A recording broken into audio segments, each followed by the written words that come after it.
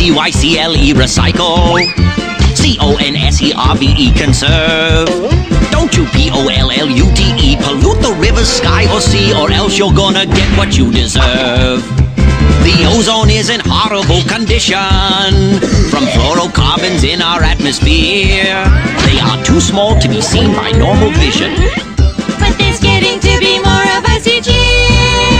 We come from a variety of places, like styrofoam containers and aerosol cans. We love to eat the ozone, it's our favorite dessert. And if you don't have an ozone, then the sun can really hurt. You must admit we make a lot of garbage.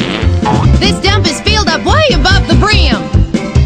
If we don't make an effort to recycle, the future could be looking mighty grim. Look, it's the Grim Recycler! No autographs, please. Someone's sit around and grieve.